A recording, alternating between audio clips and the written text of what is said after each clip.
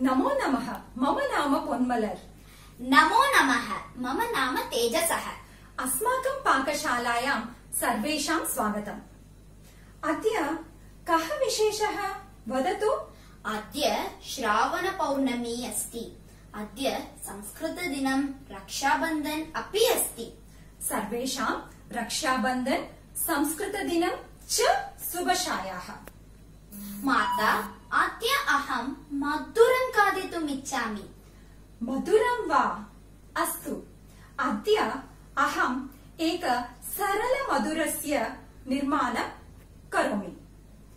मधुरमस्ति मिष्टान्नमपि अस्ति। वदतु किम्? किं किम् अस्ति? सय्यावम् अस्तु।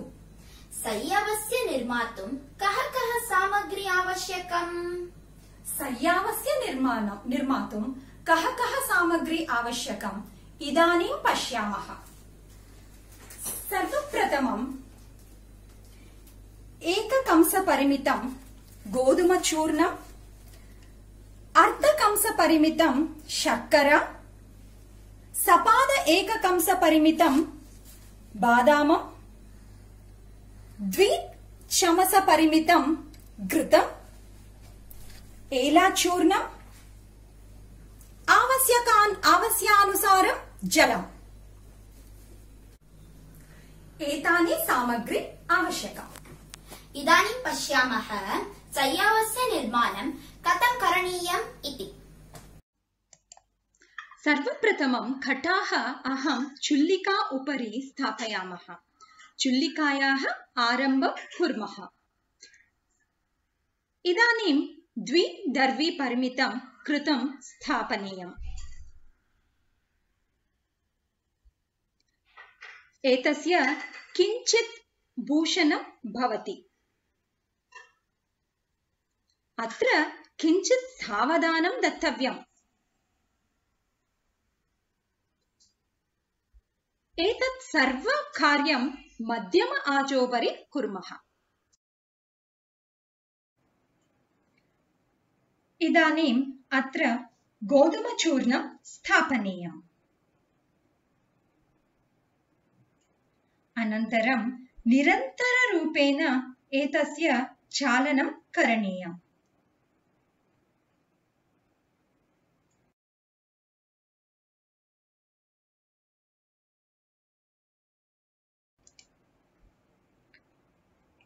एतस्मिन् समये एव अत्र बादामम् अपि स्थापयामः।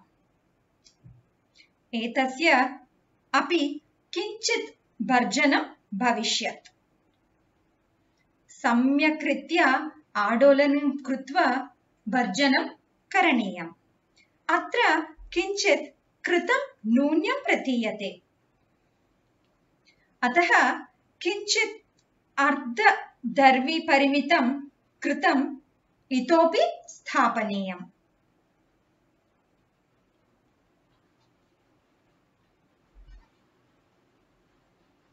एतस्य मिश्रणस्य निरन्तररूपेण चालनं करणीयम्। माता कति निमिषाः एतत् चालनं करणीयम्?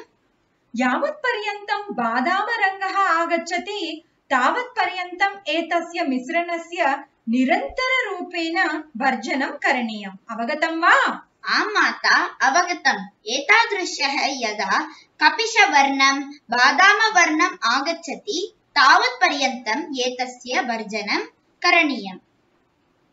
एतस्य पश्यन्तु वर्णः अपि परिवर्तः जातः। आम् माता कपिशवर्णम् आगच्छति।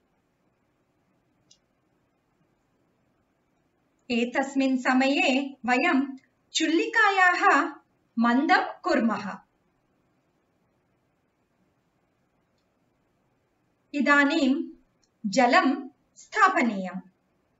सावधानेन स्थापनीयम्। निरन्तररूपेण आडोलनं कृत्वा चालनं करणीयम्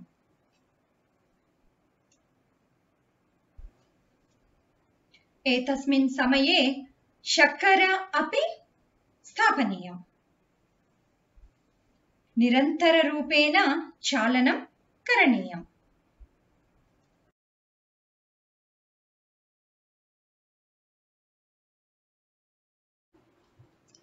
भवन्तः द्रष्टुं शक्नुवन्ति दर्व्या उपरि एतस्य लेपनं न भवति इत्युक्ते सम्यक् रीत्या एतस्य भर्जनं जातः। एतस्मिन् समये चुल्लिकायाः तापमानं न्यूनं कुर्मः। एलाः चूर्णं स्थापयामः।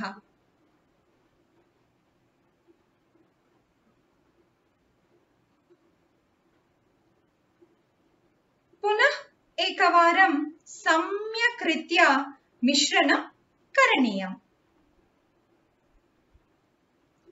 सम्यक् रीत्या आडोलनं कृत्वा मिश्रणं करणीयम्। सय्यावः सिद्धम्। दशनिमिषेषु अस्माकम् एतत् स्वादिष्ट सय्यवः सिद्धमस्ति। एतत् बहु स्वास्थ्यकरमस्ति। बहु शक्तिवर्धकम् अपि भवतः आस्वादानं कुर्वन्तु। धन्यवादः।